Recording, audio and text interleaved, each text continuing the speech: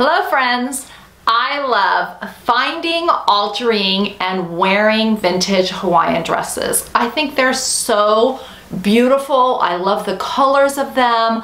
I love the way that the material feels on here in San Diego. I can wear them pretty much year round and they feel great. And I also think they're extremely versatile to style.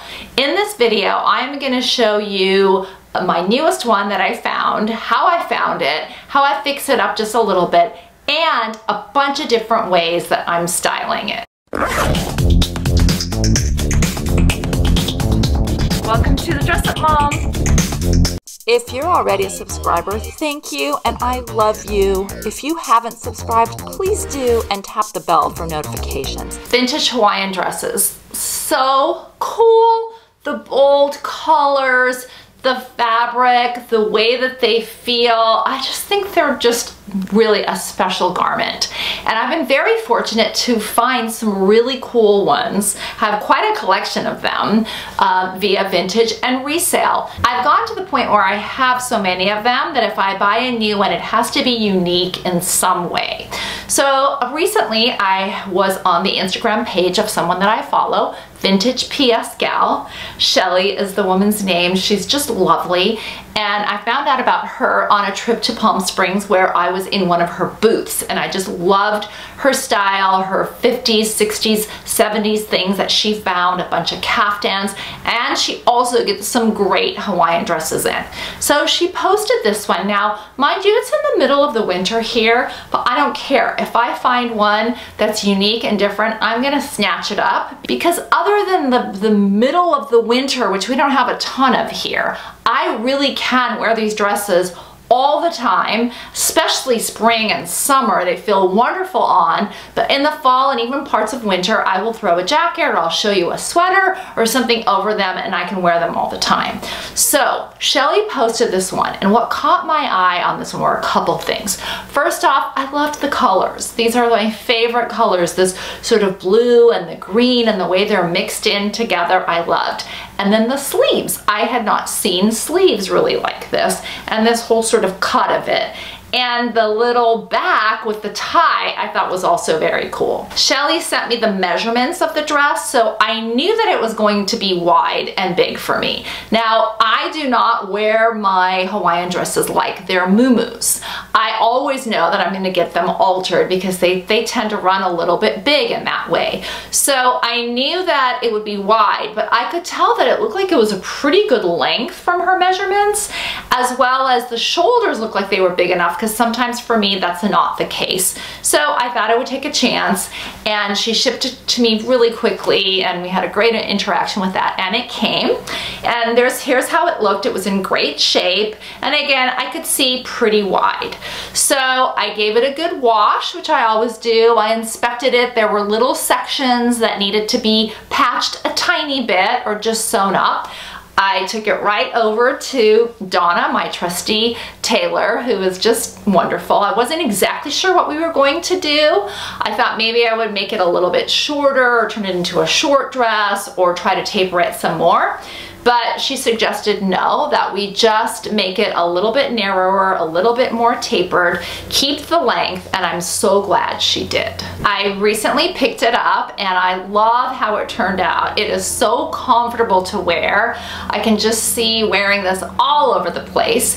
And what I thought I would do is show you just some of the ways that I can style this dress and see if you get some ideas or inspiration out of this at all.